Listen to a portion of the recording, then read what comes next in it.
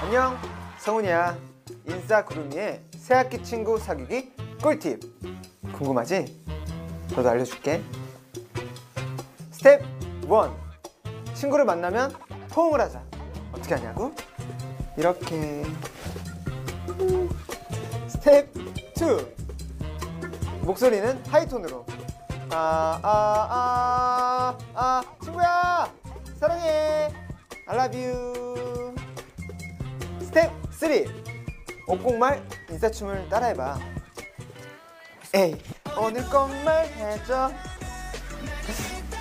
야 너도 인싸 될 수 있어? 에이 에이